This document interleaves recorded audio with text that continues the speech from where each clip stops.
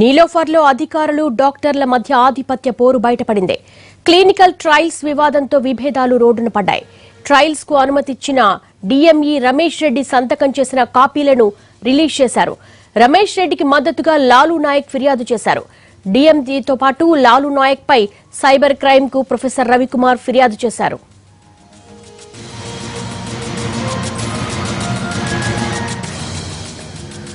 పసిపిల్లలకు వైద్యం చేయాల్సిన నీలోఫర్ ఆసుపత్రిలో వారిపై క్లినికల్ ట్రయల్స్ జరుగుతున్నాయి. ఫార్మా కంపెనీల నుంచి కొత్తగా అభివృద్ధి చేసిన మందులు వ్యాక్సిన్లను ముందుగా పిల్లలపై ప్రయోగించి ఆ తర్వాత వాటిని మార్కెట్లోకి ప్రవేశపెడుతున్నారు. ఫార్మా కంపెనీలతో కుమ్మక్కైన కొందరు డాక్టర్ల సహకారంతో పిల్లలపై ఈ పరీక్షలు చేస్తున్నారు. Swine flu rota HPV MR వ్యాక్సిన్లను పిల్లలకు ఇస్తున్నట్లుగా తెలుస్తోంది. తల్లిదండ్రులకు తెలియకుండా పిల్లల రక్త నమూనాలు సేకరిస్తున్నట్లు సమాచారం.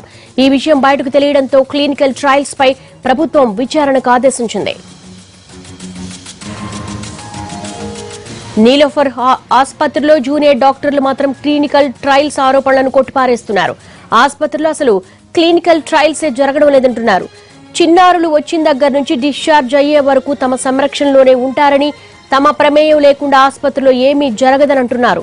చిన్నారుల ఆరోగ్యం దృష్టిలో పెట్టుకుని ఒకటికి రెండు సార్లు సరిచూసుకుని వారికి మందులు ఇస్తామంటున్న జూనియర్ డాక్టర్లతో మా ప్రతినిధి సుధీర్ ఫేస్ టు ఫేస్లో క్లినికల్ ట్రయల్స్ జరుగుతున్నాయని పెద్ద ఎత్తున ప్రచారం జరుగుతుంది. దీనికి సంబంధించి డిఎంఈ ఇప్పటికే ఆదేశాలు జారీ చేసిన పరిస్థితి అయితే కనిపిస్తుంది. అసలు నీలపూర్ హాస్పిటల్లో ఏం జరుగుతుంది అనే అనే విషయానికి సంబంధించి పీజీ స్టూడెంట్స్ అయిన డాక్టర్స్ కొంతమంది ఉన్నారు. వారిని తెలుసుకునే ప్రయత్నం చేద్దాం. అసలు ఏం జరుగుతుంది ఈ హాస్పిటల్లో? అసలు క్లినికల్ ట్రయల్స్ ఎలా చేస్తారు? మా దృష్టి వచ్చినంత వరకు అయితే ఇక్కడ క్లినికల్ ట్రయల్స్ ఏం జరగట్లేవండి. ఎందుకంటే ఇక్కడ మొత్తం అందరు జూనియర్ పీసే మ్యాక్సిమం వర్క్ చేస్తారు కాబట్టి వాళ్ళ నోటీస్కి రాకుండానైతే ఇలాంటివి అయితే జరగవు. మా హండ్రెడ్ మెంబర్స్ ఉన్నాం పీజీస్ ఒక్కరు కూడా అసలు క్లినికల్ ట్రయల్ అనేది చూడలేదు ఇంతవరకు.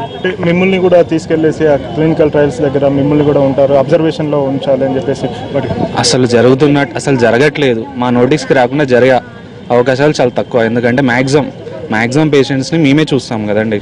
మాకు తెలియకుండా ఎలా జరుగుతాయి చెప్పండి. బయట వ్యక్తి అయితే వచ్చి చేసే అవకాశం లేదు. చేసే లోపల వ్యక్తే చేయాలి. జూనియర్ పీఎస్కి తెలియకుండా అయితే జరిగే అవకాశం లేదు. ఎందుకంటే వాళ్ళని రోజు ఫాలో అప్ చేసేది మేమే. అందరూ వస్తారు. ప్రొఫెసర్స్ అందరూ వచ్చి రోజు చూస్తారు. But first point of contact మేమే కాబట్టి మాకు తెలియకుండా జరిగే అవకాశాలు చాలా తక్కువ. అలాంటివి జరగట్లేదు. మా హెచ్ఓడి సరే జరగనివ్వరు. అంటే ఒక బేబీకి ఒక డ్రగ్ ఇవ్వాలంటే మీరు ముందుగా ఎలాంటి కాషన్స్ ఇస్తుంటారు? తల్లిదండ్రులకు కావచ్చు వారి కేర్ టేకర్స్ ఉంటారు కదా వాళ్ళకి ఎలాంటి ఇన్ఫర్మేషన్ ఇస్తుంటారు? అసలు మేము ఒక డ్రగ్ ఇవ్వాలంటే అది ఇవ్వాలని రెండు మూడు సార్లు ఆలోచించే ఇస్తాం. అది కూడా డోస్ చాలా ఇంపార్టెంట్ కొంచెం డోస్ ఎక్కువైనా కూడా ప్రాబ్లం అయ్యే అవకాశం ఉంటుంది కాబట్టి వాళ్ళకి క్లియర్గా క్లియర్గా డోస్ అనేది రాయడం జరుగుతుంది. కేసీట్లో క్లియర్గా డోస్ అనేది ఉంటుంది. పేరెంట్స్కి కూడా చాలా క్లియర్గా ఎక్స్ప్లెయిన్ చేస్తాం. ఇన్స్ట్రక్షన్స్ అన్ని క్లియర్ క్లియర్గా చెప్తాము. మీరేమో క్లినికల్ ట్రయల్స్ జరగట్లేదు అంటుంది ఎట్లా దీన్ని ఎలా చూడాలంటే? సి ఇదైతే ఒక బురద జల్లే పనిగా అనిపిస్తూ ఉంది హెచ్ఓడి సార్ మీద. ఇప్పుడు వరకు అయితే మా మా దృష్టికి అయితే ఇప్పటివరకు క్లినికల్ ట్రయల్స్ జరుగుతున్నట్టు ఎప్పుడు మేము చూడలేదు. సార్ చెప్పినట్టు కూడా అటువంటి అవకాశం కూడా లేదు ప్రస్తుతానికైతే. ఏదో కేవలం బురద జల్లే ప్రయత్నంలా ఉంది.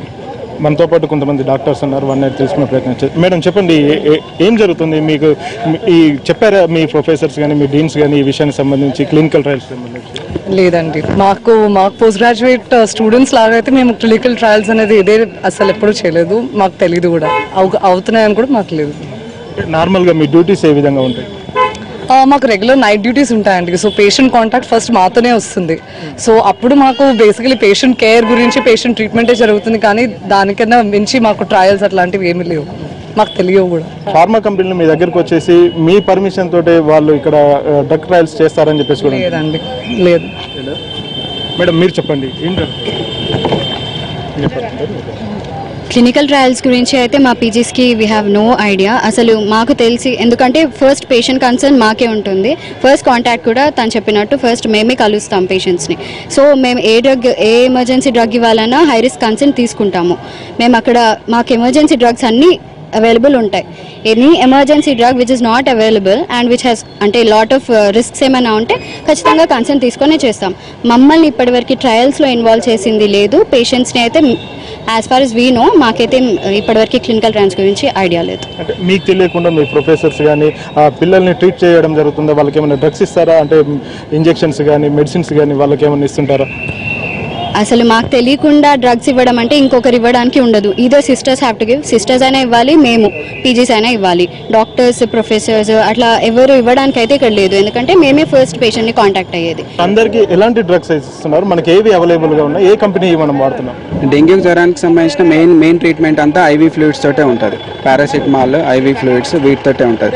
కొంతమందికి ఏమైనా ఇన్ఫెక్టివ్ కాదు అనుకుంటే యాంటీబయాటిక్స్. అవి గవర్నమెంట్ ద్వారా సప్లై అయిన గవర్నమెంట్ మందులు మాత్రమే ఇవ్వబడుతుంది. అదే కానీ స్పెసిఫిక్గా ప్రైవేట్ నుంచి వేరే ల్యాబ్ వాళ్ళు ప్రిస్క్రైబ్ చేసిన అయితే ఇక్కడ మాకు తెలిసి ఎవరు ఎవరు ఇవ్వరు ఎవరు ప్రిస్క్రైబ్ కూడా చేయరు. ఇది ఏమైనా కానీ ఇందులో ఖచ్చితంగా పూర్తి స్థాయి లోతైన దర్యాప్తు చేస్తే నిజ నిజాలు బయటపడతాయి. చిన్నారుల భవిష్యత్తు కూడా బాగుంటుంది. అనారోగ్యాల పాలు కాకుండా కొత్త మెడిసిన్స్ రావాల్సిన అవసరం ఎంతైనా ఉంటుందని చెప్పేసి డాక్టర్లు చెప్తున్నారు. కెమెరామెన్ ఫన్ కుమార్తో సుధీర్ ఎన్టీవీ నీలోఫర్ నుంచి